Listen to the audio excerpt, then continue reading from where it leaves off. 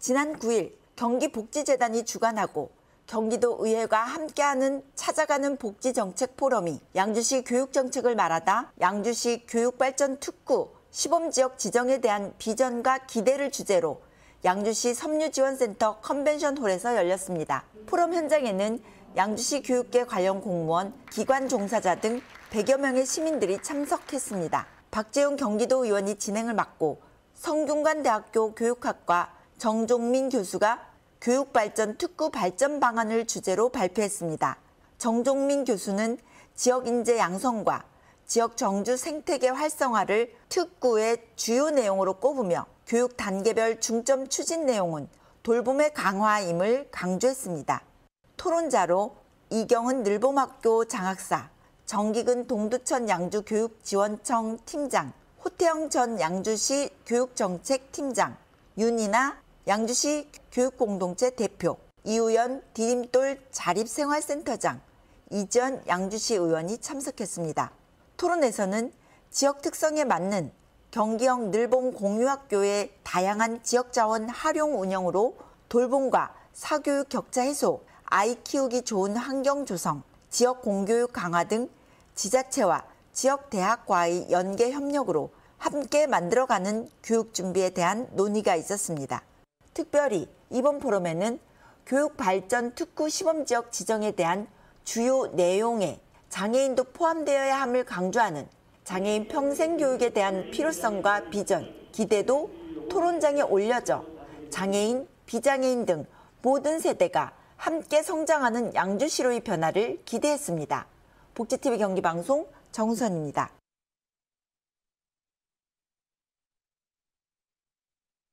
지난 24일 중복을 맞아 임실군 노인종합복지관에서는 지역 내 어르신이 보다 건강한 여름 보내기를 기원하는 마음으로 중복맞이 삼계탕 나눔 행사를 열었습니다.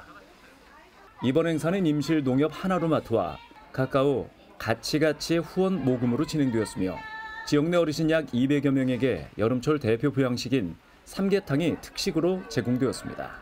전국에 있는 분들이 어르신들에게 음식을 대접할 수 있도록 100원부터 뭐 2만 원, 5만 원 해주신 후원금으로 마련된 자리이기 때문에 아마 더 뜻깊은 자리가 아닐까 생각을 하고요. 오늘 오시는 어르신들 복지관에서 음식 드시고요. 올 무더운 여름 건강하게 되시기를 부탁드리겠습니다. 특히 이번 행사에서는 임실 119 의용 소방대원들이 봉사로 함께 참여해 행사를 더욱 뜻깊게 만들어 주었으며 복지관 직원들은 웃음과 친절한 언행으로 어르신들을 맞이해서 장례 분위기를 더욱 훈훈하게 만들었습니다. 어르신님 조금이라도 보탬이 되고자 같이 이렇게 동참하게 됐습니다. 지금 1년 내내 지금 뭐냐 목요일마다 와가지고 같이 봉사를 하고 있거든요. 근데 이런 행사에 동참해서 너무 감사해요. 삼계탕 맛있게 드시고 오래오래 만수무강하시기를 바라겠습니다. 감사합니다. 이번 중복맞이 삼계탕 나눔 행사와 같은 프로그램이 더욱 활성화되어 지역 어르신들의 건강과 안부를 확인하는 시간과 함께 삶의 질 향상과 노인 복지의 증진으로 이어지기를 기대해 봅니다. 복지TV 전북방송 안정진입니다.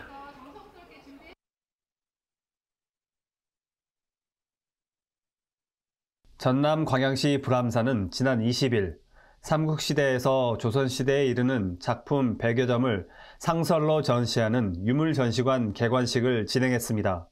개관식에는 정윤화 광양시장, 최대원 광양시 의회 의장, 김종호 광양문화원장, 신명옥 광양불암사 이사장, 시민 등 200여 명이 참석해 축하했습니다.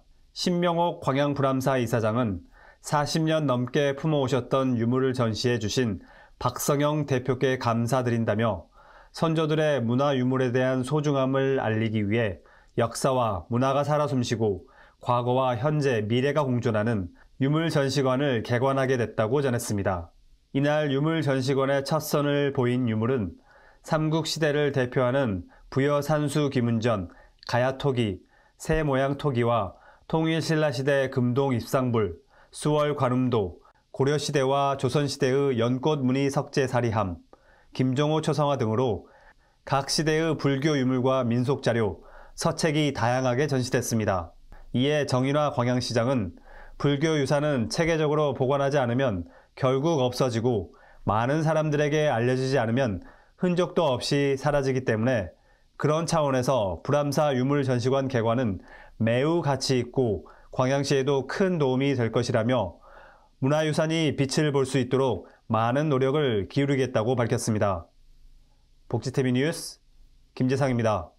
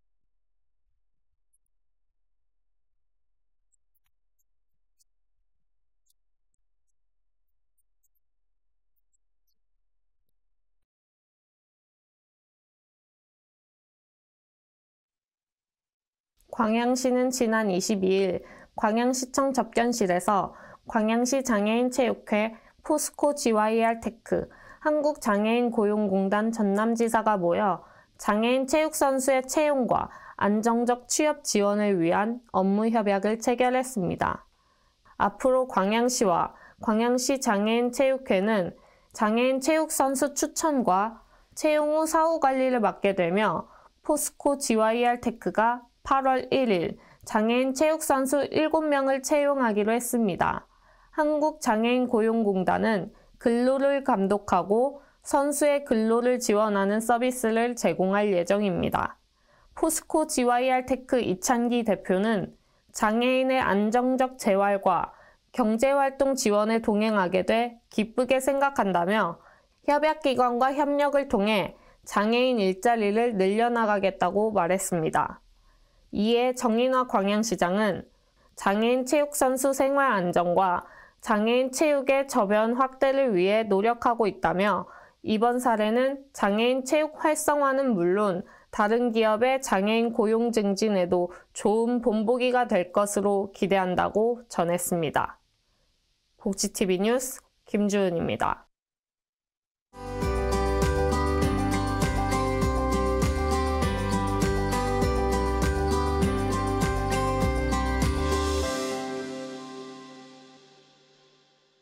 이 이한 미술관은 사회적인 공공 장소라고 생각을 하고 제가 운영을 하고 있습니다.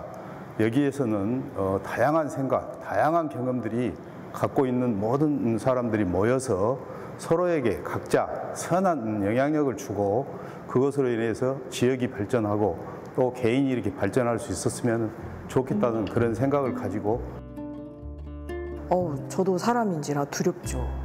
인간의 본능은 어쩔 수 없기 때문에 새로운 것에 항상 갈망하면서도 이거를 많은 사람들 앞에서 공개를 했을 때 요즘은 스마트한 시대이기 때문에 모든 기록이 다 축적이 되고 오픈이 되잖아요. 그런 두려움을 가지고 있는데요. 내가 그냥 아무렇지 않게 붓을 날리고 어떤 행위를 하거나 깡통에 캔을 발로 밟는다는가 이 자체도 다 예술이 탄생이 될 수 있기 때문에 그래서 두려움 을 극복을 해서 또 하나의 장르를 내가 만들 수 있겠구나. 컬리런 네 작가 작품의 형태는 명사보다는 좀 더 역동적인 동사에 가깝습니다. 각자의 구조 속에서 해체와 움직임, 결합이 반복되고 점과 선이 면이 뒤섞여 본래의 의미와 다른 의미가 될 때 비로소 형태가 형성됐다고 볼 수 있습니다. 색채가 서로가 대비되듯 묻어가듯이 자연스럽게 표현을 하였는데 여성의 이미지하고 남성의 이미지가 어, 굉장히 대립되는 구조 속에서 둥둥 허공에 뛰어다니는 그런 움직임이나 해체 같은 것들이 반복되는 형상들이 보입니다. 그것들이 서로가 결합을 이루어서 결국에는 하나의 예술 작품으로 탄생이 되었는데요. 움직임의 이동은 파동을 일으키고 파동에는 여러 가지 종류가 있습니다. 어떤 파동은 잔잔한 연못에 돌을 던지는 것과 같이 매개체와의 상호작용을 필요로 하는데 그로 인해 고요했던 연못의 목소리가 증폭되기도 합니다. 또 파도와 같은 표면파는 물과 공기 또는 땅이라는 두 가지의 경계면에서 형성됩니다. 두 가지의 상호작용으로 나타난 반사 현상 속에서 파도는 경계면이 무엇인지 생각합니다. 장애물에 계속해서 부딪히며 리듬을 이루는데 이는 삶이라는 과정에서 인간에게도 똑같이 적용됩니다. 현재 하고 있는 작품들은 어떤 사물의 관점을 두기보다는 제가 어차피 그 현대 그 공동체 사회 안에서 구성하는 사회 일원의 한 부분이기 때문에 인간이 가지고 있던 내면이나 심리나 감정 이런 것들을 그림으로 또 다른 형태로 풀어내면은 좀 더 재미있게 해석이 되지 않을까 그런 흥미로운 부분을 찾았기 때문에요. 그렇게 작업을 현재에 와서 좀 다르게 이렇게 변형이 되었는데요. 이렇게 자기 변형이라는 주제로 해서 어, 작가가 발전할 수 있게끔 하나의 메시지로만 충만하지 말고 여러 가지로 이렇게 해석될 수 있게끔 작가는 인간의 생체 리듬에 존재하는 시간의 차이를 3차원인 공간으로 불러들입니다. 4차원인 시 공간의 연속을 3차원의 공간에서 받아들이기 위해서는 인간적인 것과 비구상적인 것 사이에서 대상을 표현할 형상이 필요합니다. 4차원의 시차를 2차원이라는 캠퍼스에 작가의 시간을 더해 3차원의 공간에 색채로 뿌려진다는 것은 꽤나 혼란스러운 일입니다. 앞으로 미래에는 인터랙티브한 그런 아트를 꿈꾸고 있습니다. 시작은 컬리넌이라는 작가가 시작을 오픈을 했지만 마무리가 되고 완성이 되는 과정은 관람객들하고 함께 참여를 할 수 있게끔. 작가는 이 혼란스러움과 모순을 즐기며 다양한 시간 속에서 다채로운 영상을 만들어냅니다. 끊임없이 부딪히는 불빛과 풍경과 시간은 결국 컬리넌 니라는 작가를 형성하는 움직임이고 파동일 것입니다. 복지TV 뉴스 이영추입니다.